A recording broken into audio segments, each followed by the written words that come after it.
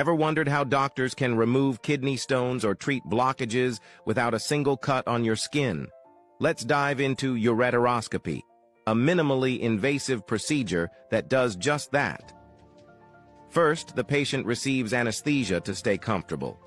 The surgeon then uses a thin, flexible tool called a ureteroscope, which is inserted through the urethra and into the bladder. The ureteroscope is carefully guided into the ureter, the tube that connects the kidney to the bladder.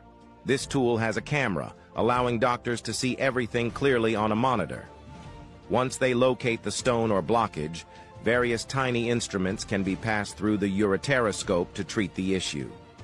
For kidney stones, a laser or other tools may break the stone into smaller pieces. These pieces are then removed or left to pass naturally. To ensure the ureter stays open, a temporary stent may be placed to help with healing and drainage. And that's it.